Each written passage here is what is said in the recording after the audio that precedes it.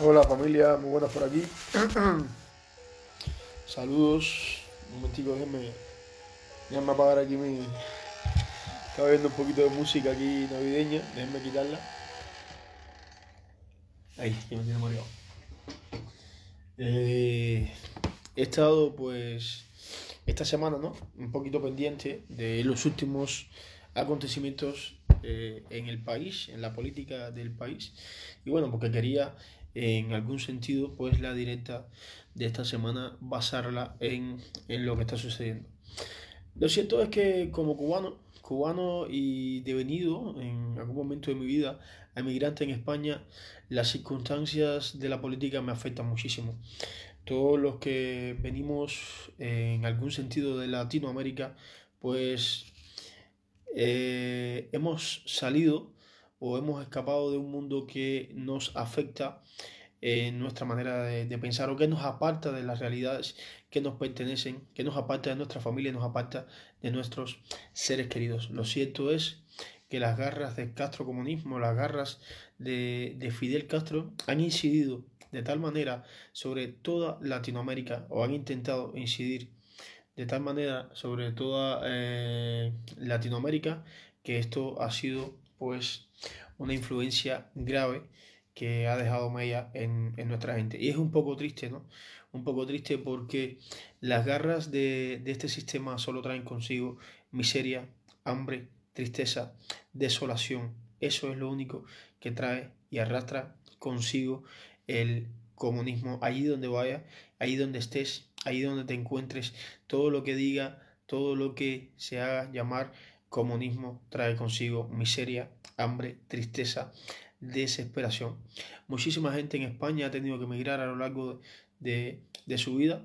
Muchísima gente se ha devenido emigrante en España con la esperanza de un futuro mejor, con la esperanza de adaptarse a un sistema donde el esfuerzo y el fruto de tu trabajo sea recompensado, para entonces llegar a España y ahora tener que enfrentarnos a un sistema donde reine, donde gobierne y donde mande el comunismo. Esto yo pienso que en todos los años, en todos los años, en los 40 años que lleva de democracia eh, alcanzada y lograda como sociedad civil este país, es una de las peores cosas, una de las peores cosas que eh, les pueda pasar a España. Y no solamente pues el sanchismo, ¿no? No solamente ese ego que, que, le acompaña a Pedro Sánchez, no solamente que se crea el rey del mundo, no solamente que vaya de chulo, no solamente que quiera jugar con la gente, es ese deseo, ese deseo de manejarlo todo, ese deseo de manipularlo todo, ese deseo que tiene este señor eh, de, ser, de ser el rey de, de, la gente, de gobernar en la gente, ¿no? Como si estuviéramos aún en tiempos de esclavitud. Y sus acciones lo han demostrado una y otra vez. Las mentiras de Sánchez las podemos encontrar en cualquier lugar ahí donde accedamos, en cualquier información ahí donde entremos. Están una tras otra desmentidas y desmontadas cada una de estas falsedades y estas falsas patrañas. Cuando el señor Sánchez decía pues que jamás, jamás iba a pactar con eh, Podemos porque era un peligro acercar a, a, la extrema izquierda porque Podemos puede pues calificarse. Si Vox le estamos calificando como la extrema derecha Podemos entonces sería eh, pues la extrema izquierda. Cuando Sánchez decía por ejemplo que jamás iba a pactar con, con, este señor que jamás iba a permitir que este señor llegase al gobierno. Ahora estamos viendo que el principal pacto de Sánchez, que a toda costa quiere mantenerse en el poder, que a toda costa quiere mantenerse en el gobierno, que a toda costa quiere ser el presidente eh, de este país, pues su principal mano derecha para llegar a ello, para alcanzarlo y para lograrlo, pues es el pacto indiscutible con eh, Pablo Iglesias. Pablo Iglesias eh, con este Podemitas, este coleta de Podemita, que es el único que cínica y abiertamente se ha declarado comunista. Es el único que cínicamente se ha declarado comunista, es el único que públicamente ha defendido ha defendido pues al gobierno dictador de Venezuela, al gobierno dictador de los Castro en Cuba y al gobierno, por ejemplo, super dictador y asesino eh, de países como eh,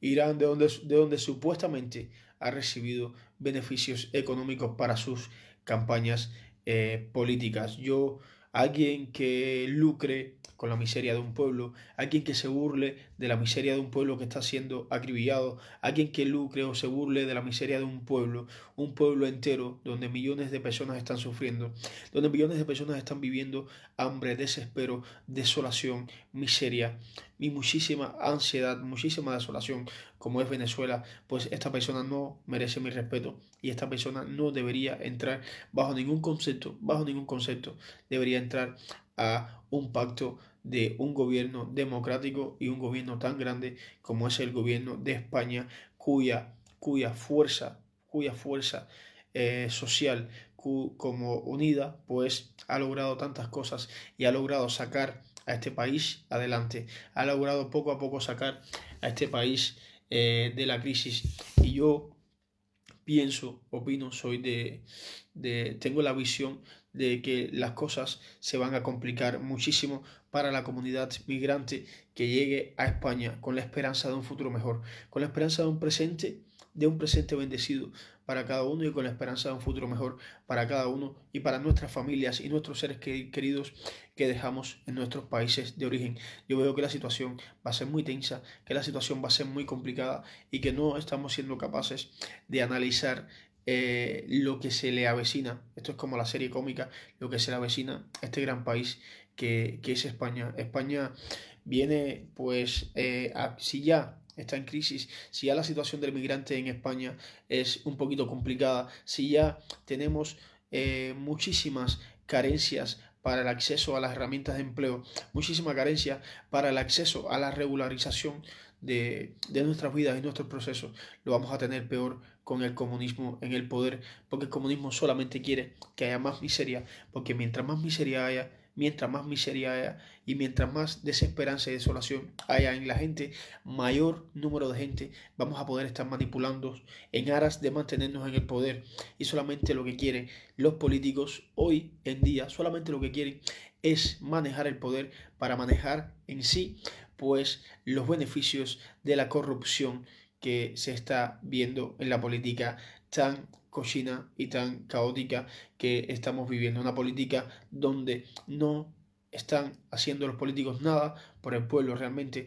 no están haciendo nada por el beneficio de los más necesitados, sino por el ego y el beneficio personal de cada uno. Estamos hablando de un podemita que defiende un sistema comunista donde el pueblo es acribillado, donde el pueblo está pasando hambre, pero sin embargo tiene y mantiene un chalet valorado en 600 mil euros que se ha comprado con dinero que no se sabe de dónde ha llegado y supuestamente pues muchísimo de este dinero es de esos gobiernos a los que defiende abierta y públicamente para que estos gobiernos puedan seguir manteniéndose en el poder y sigamos manipulando la opinión pública internacional. Esto es un desastre, esto es un caos, esto es terrible y la situación de los inmigrantes va a ser cada día peor si no somos capaces de unirnos, si no somos capaces de darnos la mano, si no somos capaces de luchar y abogar por nuestros derechos, nadie va a venir a hacerlo. Y analicemos la historia, analicemos la historia. No podemos esperar, no podemos esperar rosas, sino espinas de una persona abiertamente. Eh, dada de la mano con un sistema comunista que a tanta gente, a tantos millones de gente ha acribillado a lo largo de su existencia. Eh, y su paso por la humanidad. Por la humanidad. Yo, según fuentes eh, oficiales que han hecho un estudio, una valoración, se avecina pues eh, una incertidumbre económica para España, se avecina una gran tormenta para, este país y yo pienso que esta tormenta que, que se avecina, pues porque de algún modo van a tener que justificar alguna reforma los comunistas que esto va a afectar a todo el mundo por igual, muy a pesar de que hay quien diga de que eh, va a afectar solamente a las clases medias superiores porque los impuestos se van a elevar en las clases medias superiores, en los grandes empresarios, esto va a afectar a todo el mundo por igual, va a haber un decrecimiento económico paulatino que va a convertir o va a traer o va a devolver a este país la crisis que se estaba intentando pues eh, solucionar de alguna manera y esto va a repercutir en menos trabajo para la gente, en menos opciones laborales, en menos opciones de acceso a todo tipo de herramientas para la gente que esperanzada llega a, este país. Eh, ya esta inestabilidad en la economía, ya desde que se anunció el supuesto pacto entre en noviembre, ¿no? entre Pedro Sánchez y Pablo Iglesias, pues ya se estaba viendo esta inestabilidad o esta, este decaimiento en la economía. Pues eh, desde noviembre ya hemos visto pues una gran caída en la bolsa española, un desplome de, la bolsa y una preocupación, una gran preocupación, una latente eh, preocupación en el mundo empresarial que eh, hablaba de los primeros pronósticos adversos tras una investidura de Pedro Sánchez después de aquel famoso abrazo entre Pedro Sánchez y el comunista Pablo Iglesias que supuestamente jamás eh, iba a existir, ¿no? Eh, pues va a haber un desastroso futuro para las pensiones, el equilibrio fiscal, el impacto negativo de la subida de los impuestos y la creación de otros nuevos como las tasas Tobin y Google es un entorno de desaceleración económica lo que se está previendo en este sentido, ¿no? Es fatal lo que pasa, es fatal lo que se avecina. Y yo pienso que de una buena vez, de una buena vez, la comunidad eh, migrante tiene que ser capaz de entender el proceso en que se encuentra, tiene que ser capaz de entender la situación en que se encuentra, tiene que ser capaz de entender y tiene que ser capaz de analizar que solamente en nuestras manos, solamente en las manos de un pueblo unido, solamente en las manos de millones de seres humanos unidos como sociedad civil va a estar el cambio necesario para nuestras vidas y la vida de, los nuestros. Pedro Sánchez desde 2016, desde 2016 estaba prometiendo pues abogar por la población o la comunidad migrante irregular. Estaba prometiendo, pues, abogar por un cambio en el sistema de la ley de migración. Estaba prometiendo abogar por los más necesitados. Bueno, vamos a ser capaces de unirnos como eh, sociedad civil y exigirle a Sánchez que de una buena vez deje el cinismo de las promesas y empiece un poco más a avanzar en materia de cumplirlas, avanzar en materia de cumplirlas. Yo es que realmente cada vez que me pongo a analizar, yo no es que puedo o quiero posicionarme de un lado o del otro de la baranda de la política. Yo no quiero posicionarme del lado de la izquierda. Primeramente no me voy a posicionar eh, del lado de la izquierda extremista jamás en la vida, porque es el extremismo de la izquierda, el comunismo, el sistema castrista que ha llevado a mi pueblo a 60 años de miseria, desolación y de hambre. Nunca me voy a posicionar de este, de este lado, ¿no? Yo tampoco puedo decir que tengo que posicionarme todo el tiempo de parte de la extrema derecha porque la extrema derecha pues ya vemos los síntomas que trae como consecuencia, síntomas en los que se puede trabajar para corregir muchísimas cosas porque la xenofobia, la hemofobia, todo tipo de acto de discriminación que de alguna manera se manifieste, pues no trae nada bueno tampoco como consecuencia. Entonces yo pienso que tengo que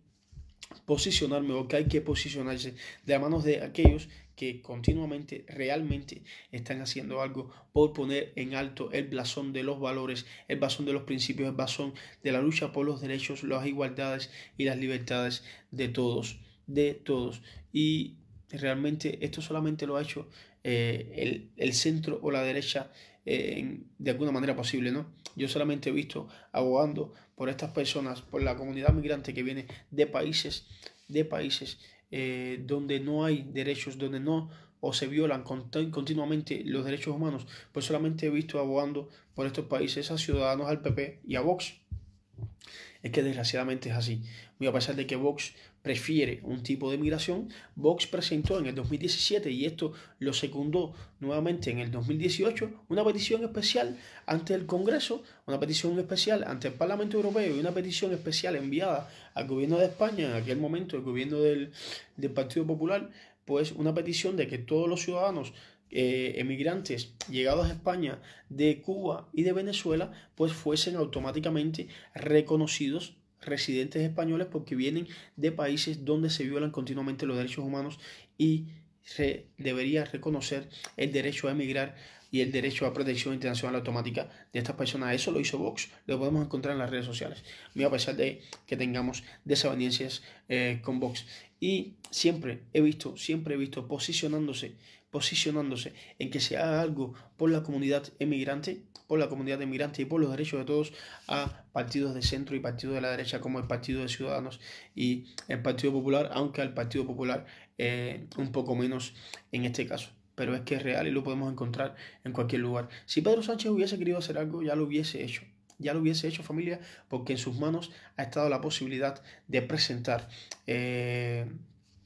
cambios en la ley. Yo pienso que uno de los cambios fundamentales en los que se debe trabajar en este país es en la ley de migración. Uno de los principales países de la Unión Europea que permite la regularización regularización a la comunidad migrante en estado irregular o lo que solemos llamar como estado eh, ilegal, pues es España. España porque tiene una ley de migración, una ley establecida que dice que al término de los tres años tú puedes regularizar tu situación en el país si puedes encontrar un trabajo y esto se llama ley de migración o lo que la gente conoce como eh, proceso de arraigo social. Este proceso de arraigo social solamente se puede comenzar muy a pesar de que hay otros procesos de regularización en el país, este proceso de arraigo social solamente se puede comenzar al término de tres años a término de tres años de estar en el país. Pero estos tres años son tres años de agonía para la comunidad inmigrante. Estos tres años son tres años de sufrimiento, son tres años de estrés, son tres años de desavenencias, son tres años de pasar por un sinnúmero, sinnúmero de caos, un sinnúmero de dificultades, un sinnúmero de problemas en la vida, un sinnúmero de situaciones que nos hacen la vida una amargura a quienes tenemos que pasar por eso. Y no es justo, no es justo que eh, mantengamos esa barrera hacia la migración. No es justo que mantengamos esa barrera hacia quienes venimos de países con estado de exclusión eh, social. No es justo que mantengamos esa barrera hacia quienes venimos de países donde no hay derechos ni libertades ni igualdades para todos, donde no se nos respeta, donde no hay posibilidades, donde la juventud no tiene un futuro, donde la juventud no tiene un mañana, donde la juventud no tiene un porvenir, donde si estudias hoy no vas a tener la garantía de un trabajo para el día de mañana. No es justo. No es justo. Y esto no es merecido para nadie. Entonces, si la banda de la izquierda, si la banda sanchista, si la banda podemista quisiera realmente hacer algo, pues el, el, podemita comunista este no se hubiese comprado un chalet y hubiese dedicado este dinero del chalet a las personas en exclusión social, aún en España, el señor Sánchez no hubiera, no hubiera tomado un avión, no hubiese tomado un avión, no hubiese ido a Cuba, no hubiese perdonado una deuda de 385 millones de la deuda que tiene el, el país castrista con España, porque supuestamente está preocupado por eh, los empresarios españoles en el país y este dinero, estos 385 millones, lo hubiese invertido y utilizado en quien realmente aquí se lo merece o le hubiese exigido en, en su lugar al gobierno cubano que pague la deuda porque tiene tiene el dinero para pagar la deuda. Y no solamente eso, el, el, señor Sánchez fue a Cuba, el señor Sánchez no fue capaz de reconocer que hay una oposición en la isla, no fue capaz de reconocer que en Cuba hay personas en exclusión social, que en Cuba hay una oposición cuyos derechos son continuamente vulnerados, masacrados, pisoteados y acribillados, y no fue capaz de tener una reunión, un encuentro, ni sentarse con esta comunidad migrante de la oposición, con esta comunidad, perdón, de la oposición en la isla de Cuba. No fue capaz, pisoteó todo tipo de sufrimiento que está pasando toda esta gente, los cientos de cubanos que hay presos, los cientos de cubanos eh, opositores que por expresar su diferencia con el régimen de la isla, pues están siendo vulnerados, pisoteados y acribillados continuamente y este señor lo hizo, fue y no se reunió con ellos, pasó por alto. Y no solamente eso, no solamente eso, sino que después fue capaz de prepararle el gobierno, el gobierno sanchista fue capaz de prepararle una visita a los reyes, a los reyes de España, a también a la isla de Cuba. Y en esta visita que supuestamente cuando se le exigió un tipo de responsabilidad o un tipo de respuesta en este sentido, dijeron que era una visita pues solamente con un ámbito cultural porque La Habana cumplía 600 años y las raíces las raíces que hermanan a ambos países pues establecían de hecho esta visita real y después de estar los reyes, sus majestades en, en Cuba, fuimos y fuimos partícipes de cómo el gobierno cubano se reía, se reía de toda la comunidad migrante e internacional que abogaba por derechos cuando ponía una fotografía y una serie de evidencias donde los reyes se evidenciaba que los reyes habían hecho un regalo, un regalo habían sido testigos de un regalo del gobierno español de 57 millones de euros a la dictadura Castro, Castro comunista. ¿Hasta cuándo vamos a seguir aguantando todo este tipo de falsedades? ¿Hasta cuándo vamos a seguir viviendo este tipo de mentiras? ¿Hasta cuándo este tipo de atropellos? ¿Hasta cuándo permitir que quien eh, entra a quien pretende entrar al poder, el señor de, de Podemos, pues apoye que el pueblo de Venezuela sea masacrado y no sea capaz de manifestarse en contra de esta eh, masacre. ¿Hasta cuándo vamos a dividir, que, a permitir que quienes están intentando entrar al poder son quienes están intentando dividir en dos a un país tan grande y tan lindo como España sin pasar pasando por alto una constitución, pasando por alto la voluntad y la decisión de un pueblo. Porque ahora mismo estamos pactando, se, vio, se ha visto en estos pactos que uno de los fundamentales acuerdos que ha tenido Sánchez con Izquierda Republicana es que le va a dar, le va a brindar a Cataluña la posibilidad de ir a un eh, referéndum, de ir a un referéndum, pero no un referéndum que se debería establecer dentro del país, que se debería llevar a todo el país, sino un referéndum solamente catalán, un referéndum solamente en Cataluña. ¿Qué va a traer como consecuencia un referéndum en Cataluña? ¿De qué manera se va a traer esto? Entonces estamos permitiendo, permitiendo o estamos dando paso a que se vaya a destruir un país, a que se vaya a dividir un país, ¿no? Entonces es que yo realmente no lo entiendo. Tampoco entiendo que ya estamos empezando con muchísimas manifestaciones, muchísimas manifestaciones de parte del gobierno sanchista de eh, cohibir la libertad de expresión. La ley orgánica establece que menos de 20 personas tienen derecho sin comunicarlo a manifestarse libremente en territorio español. Y hemos visto ayer en todos los medios, en todas las noticias, en todas en todas partes se ha publicado el, el acribillamiento que ha sufrido un señor jubilado español porque solamente portaba una bandera española y decía España es la tierra de todos, feliz año 2020, tengo a España en mi corazón, no me la rompan por favor,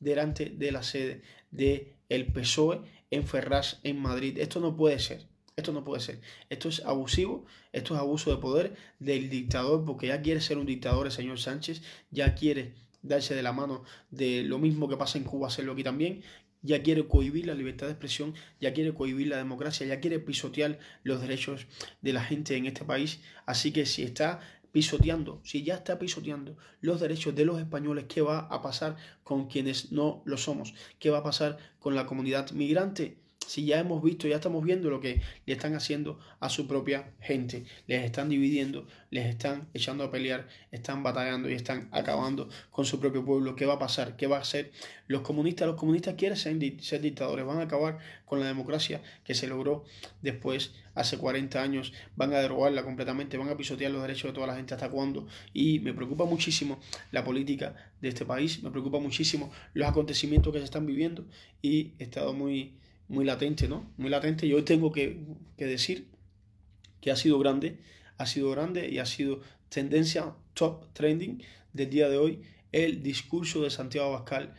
Ha sido top trending del día de hoy el discurso de el eh, candidato al PP por, contra Pedro Sánchez, donde le han cantado unas cuantas verdades a la cara que eran más, eh, más que merecidas, ¿no? Más que merecidas. Pues vamos a ver aquí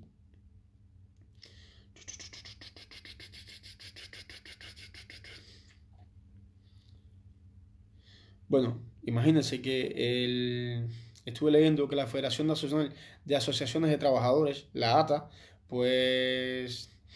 ha señalado que la desaceleración económica ya se ha hecho eh, latente y por ello se considera que son momentos en los que necesitamos mesura y moderación, estabilidad y seguridad. Por último, ella ha afirmado que no es momento ni de subir impuestos como pretende Sánchez, ni de aumentar el gasto público y el sanchismo, el sanchismo ligado al comunismo en el poder solamente va a subir los, impuestos, va a aumentar el gasto público, va a vaciar las arcas, las arcas públicas y los más vulnerados son siempre los que más van a sufrir evidentemente las,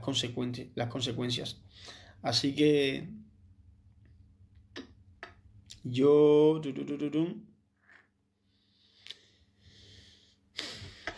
Bueno,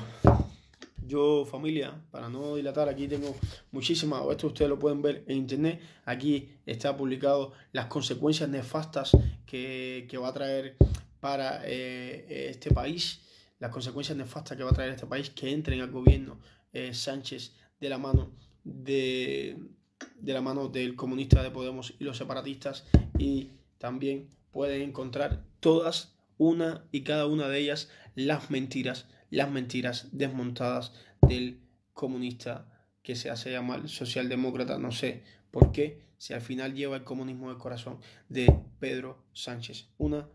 una y cada una de ellas, por favor, yo les insto a buscar en internet, yo les insto a eh, aconsejarnos, yo les insto a tomar medidas por el bien personal porque se avecina una gran tormenta para todos. Desgraciadamente es así. Saludos familia, bendiciones y una linda noche y que el nuevo año traiga cosas maravillosas para ustedes, los suyos y para toda esa gente que siempre llevamos con esperanza, con fe y con alegría en el corazón. Soy Lázaro Mireles, el Lacho de Cuba, y esta ha sido mi transmisión semanal para ustedes. Como siempre les pido que le den like y seguir a la página y estén al tanto de toda la información que estamos poniendo siempre para ayudar y solidarizarnos con toda la comunidad migrante en necesidad y búsqueda